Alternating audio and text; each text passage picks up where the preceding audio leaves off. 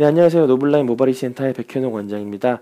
어, 수술하신 분들이 가장 많이 물어보시는 것들 중에 하나가 머리 감는 거. 머리는 언제, 언제부터 감을 수 있, 느냐는 거죠. 머리 감는 거. 샴푸. 언제부터 감을 수 있느냐는 걸 항상 많이 물어보시는데요. 어, 수술 후, 머리 감는 거는 뭐, 다음날부터 수술 후, 어, 1일째부터 어, 가능하긴 합니다. 하지만은 어, 머리를 다음 날부터 감을 꼭 감을 피, 필요가 없는 분들은 수술하고 보통은 2일째 되는 날부터 감는 거를 더 추천을 해 드립니다.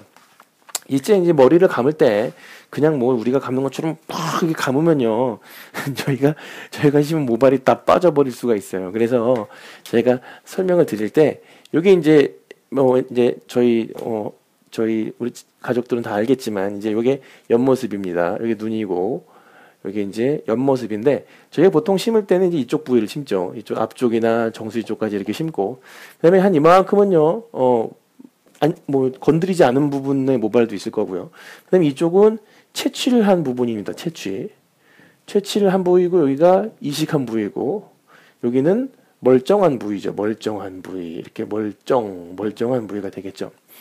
그런데 어, 저희가 이제 머리를 감을 때 샴푸를 이렇게 손에다 발라서 여기는 그냥 막 문질러도 돼요. 평소처럼 문질러도 되고요. 그 다음에 여기도 살살살살 문질러도 별 문제가 되지 않습니다. 별 문제가 되지 않는데 여기는요 문지르면 절대로 안 돼요.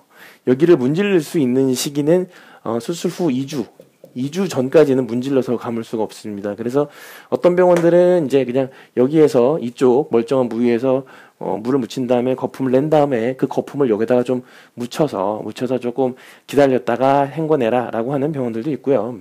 헹궈낼 때는 이제 어, 샤워기를 너무 이제 수압 세지 않게 해서 그냥 살살살살살살 이렇게 문지르지 않고 헹궈내면 되는 거고요. 저희 병원 같은 경우에는 스프레이를 드립니다. 분무기. 분무기를 드리고요.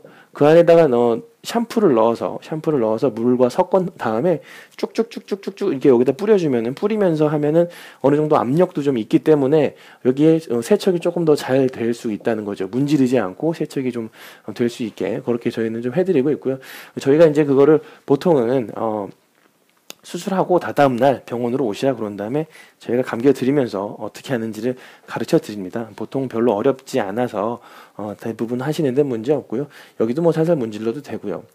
어, 정리를 하면요. 수술 후 2일째부터 그러니까 다다음 날부터 머리 감는 게 가장 좋고 가능한 거는 다음 날부터도 가능하다. 어, 감을 때에 어, 주의할 점은 여기를 문지르지 않는다라는 거고 여기가 샴푸도 샴푸나 물은 다 들어가도 되는데 문지르면 안 된다라는 거. 그것만 좀 기억하시면 될 것 같습니다.